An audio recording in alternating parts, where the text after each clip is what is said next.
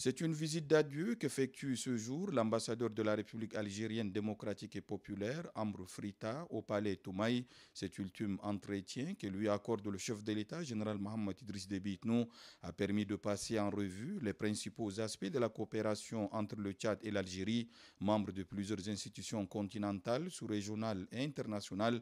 Les deux pays partagent une vision commune sur nombre de questions touchant le continent africain et le monde. Cette convergence de vues a amené le président de la République et son hôte à revisiter la coopération tchado-algérienne qui repose sur des bases solides. Ce dynamisme de la coopération tchado-algérienne, le chef de l'État, général Mohamed Idriss Déby Itnou, le doit également à l'ambassadeur qui, selon lui, aura œuvré en collaboration avec le gouvernement au raffermissement de ses relations. Le chef de l'État a dit sa haute appréciation des actions menées par le diplomate au service de cette coopération. Amr Frita, qui aura passé près de deux ans au Tchad, quitte N'Djamena pour les Émirats arabes unis.